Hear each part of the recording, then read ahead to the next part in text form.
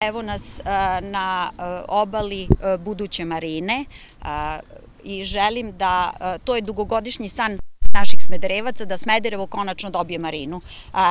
Juče, to jest prekjuče su raspisani na raspisana nabavka za odmuljavanje ovog dela marine ovde i očekuje se da već početkom augusta dođu mašine koje će raditi i srediti ovu našu marinu. To će biti onako jedno detaljno čišćenje i to je prvi korak ka formiranju marine u Smederevu dogovorili smo neke ovaj, e, korake. Ovde je i sa mnom, izvinjavam se, nisam odmah predstavila direktor Agencije za luke.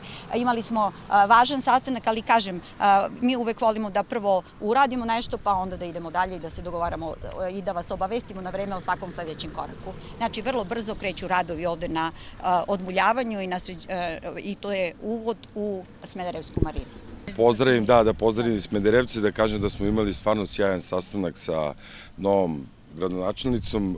Vrlo je dobro upoznata u problematiku, imamo jako dobrih projekata što se tiče vodnog saobraćaja i vodnog ovaj, u Smederevu. Ovo je jedan od projekata koji ćemo zajedno raditi sa, sa gradom Smederevom, jedan od najvažnijih inače projekata Marina u Srbiji, inače Marina u Smederevo je uvršćena u projekat za plovi Srbijom i da kažem to je projekat koji će izmeniti lice Srbije i da postaviti Srbiju na nautičku kartu Evrope.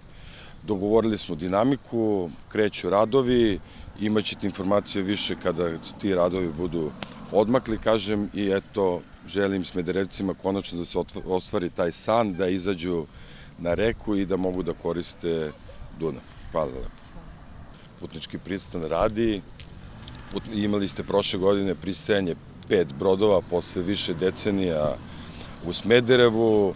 Očekujemo još pristajanja ove godine, tako da eto, to je to je, da kažem, još jedan projekat koji grad Smederevo ima i koji grad Smederevo postavlja na nautičku mapu Evrope.